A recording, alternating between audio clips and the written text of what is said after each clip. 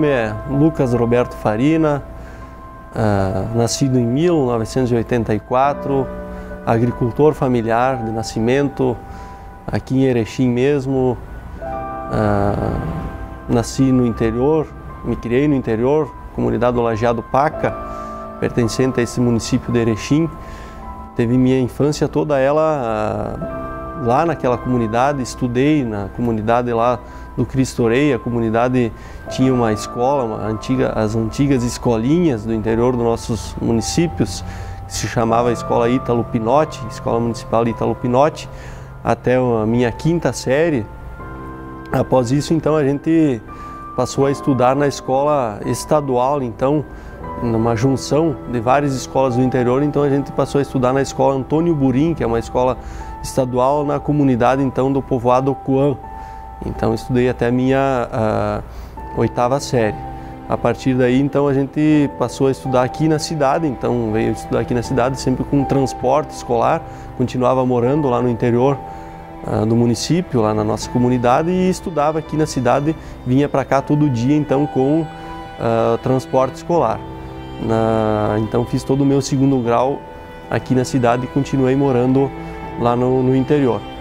Hoje a gente faz uma reflexão muito grande, até porque nós, como a gente criou, se criou lá na, no interior, a gente teve muitas dificuldades relacionadas ao trabalho da agricultura familiar, que é um trabalho uh, difícil, pesado, que não tem final de semana, mas também a gente leva uma coisa muito positiva e acho que uma coisa muito boa da infância que a gente teve lá no, ah, na agricultura, porque mesmo com as dificuldades que a gente tinha, a gente também tinha uma vida muito boa, a gente tinha um relacionamento muito bom, tinha muitos amigos também lá no interior. A gente sente muito saudade eh, daquela infância onde a gente podia uh, sair lá pro, pro campo com o carinho de mão, com uh, brincar com aquilo que a gente mesmo produzia, que é a oportunidade que a gente tem lá sempre na, na roça, né? que é fazer os nossos próprios brinquedos, sair lá para o campo, para o potreiro, chamado potreiro, que a gente dizia, brincar então com folha de coqueiro, com se reunir com os amigos, jogar um futebol lá na, na, naquele campo mesmo.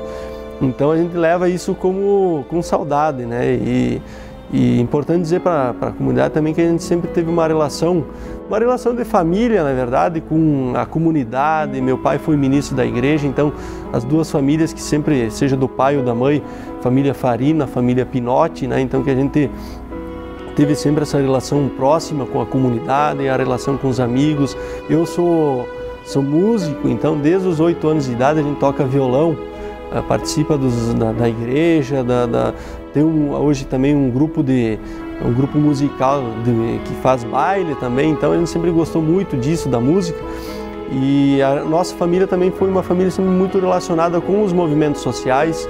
A gente lembra disso com muita satisfação, com muita alegria, porque a gente aprendeu talvez muita coisa do que a gente sabe hoje uh, em função do nosso envolvimento com a pastoral da juventude e após isso com a relação com os movimentos sociais. Até porque meus irmãos também sempre fizeram parte dos sindicatos que defendem a agricultura, dos movimentos de atingidos por barragem. Então a gente sempre teve essa relação de defesa ah, da, da, da, agricultura, das pessoas. Do... Então isso também fez com que a gente pudesse chegar onde a gente chegou. Eu, eu lembro muita coisa boa que a gente teve ah, enquanto jovem, né? essa questão da, da participação da, da juventude aí que a gente saía lá do interior, vinha aqui para a cidade, ia para outras comunidades, ia para mesmo aqui no, na, nos espaços urbanos da nossa, da nossa sociedade, da nossa cidade aqui de Erechim. Muitas vezes a gente saía daqui ia para outras cidades fazer formação, fazer encontros, conhecia muita gente, gente nova, novas amizades, uh, fazer essa troca de, de conhecimento com outras pessoas. Isso a gente leva sempre com muito carinho, né? E hoje, com certeza dá para se dizer que isso nos fez crescer bastante. Hoje, essa relação com a pastoral da juventude, com os movimentos sociais, uh, nós com certeza levamos isso como uh, uma história de vida. Né? Nós temos isso como um, conhecimento muito grande. Nós também, eu acho que em função dessa relação que a gente tem de família, uh, eu mesmo, com tudo isso, com todos esses movimentos, também fez a gente chegar o envolvimento político, essa questão do jovem, porque o jovem não participar da política, da, e isso me fez também acreditar que a gente tem possibilidades de transformar a sociedade também através da política, do envolvimento, do engajamento, uma coisa que, que eu levo como uma marca talvez ruim, ruim não, mas que me deixe um pouco triste foi na época em que eu estava encerrando a minha quinta série, eu ter que deixar a minha escolinha, a, a, antiga escolinha da comunidade, sair de lá, ah, sabe, um, um jovem, uma criança ainda praticamente, agricultor, sair daquele espaço que a gente se criou para estudar uh, numa escola com um monte de pessoas, de crianças que a gente não conhecia. Pior disso tudo foi no momento em que a gente teve que sair de lá e vim estudar aqui na cidade, né? Porque aí sim, é aquele medo de que ah, você é um agricultor, ah, vai lá na cidade, você vai ser discriminado, tem preconceito. E graças a Deus eu levo isto como, na verdade, como uma coisa ruim, porque Hoje, você sair lá da, do campo e vir estudar na cidade é uma forma de incentivo você abandonar o campo e vir para a cidade, até pelas condições que hoje você encontra na cidade.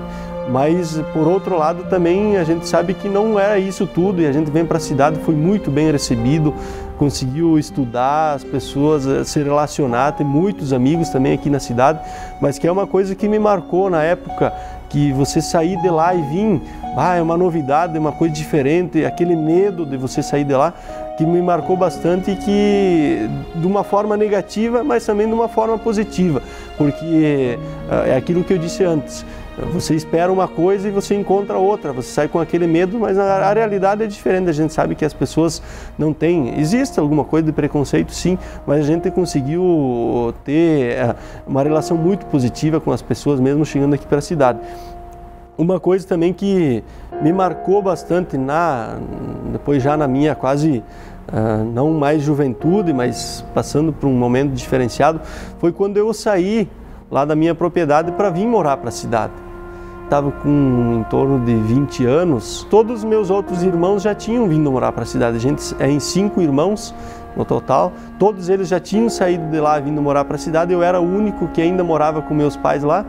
Então você sair de lá, deixar os pais lá morando na roça sozinhos, você vir para cá, uh, sabe, é uma coisa muito difícil naquele momento para mim, mas que eu sabia que ao mesmo tempo uh, eu estava vindo para cá para dar continuidade a um trabalho que não, não seria uh, só, uh, não ajudaria só meus pais, mas que ajudaria um grande número de pessoas, que era ligado ao movimento sindical. Então aquilo me marcou bastante na época.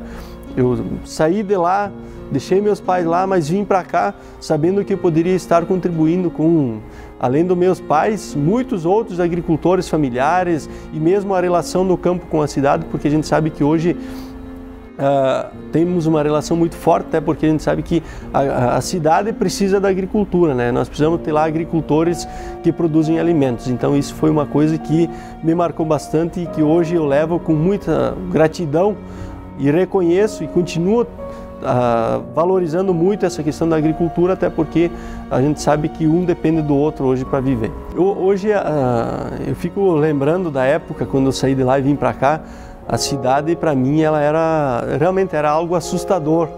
Ah, Erechim, uma grande cidade, mais de 90 mil habitantes.